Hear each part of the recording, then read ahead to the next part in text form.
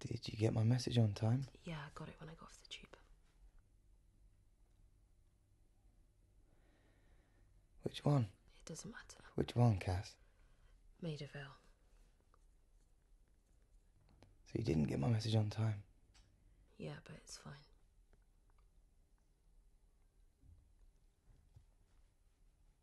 Place looks nice.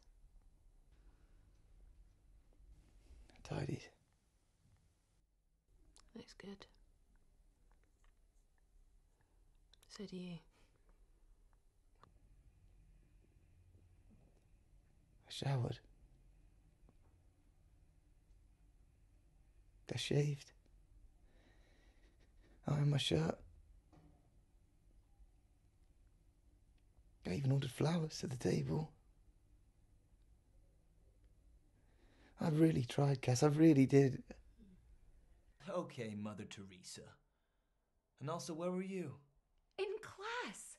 Like I told you, which is why I left you my car to go and get her. Hey, lower your voice, okay? Oh, what? So now you care, huh?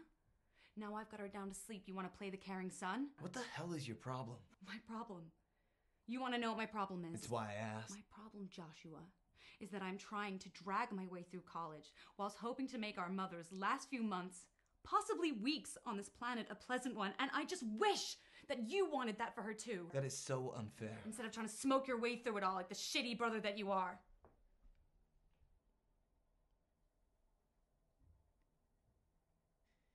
Yeah. And this is just tobacco, by the way.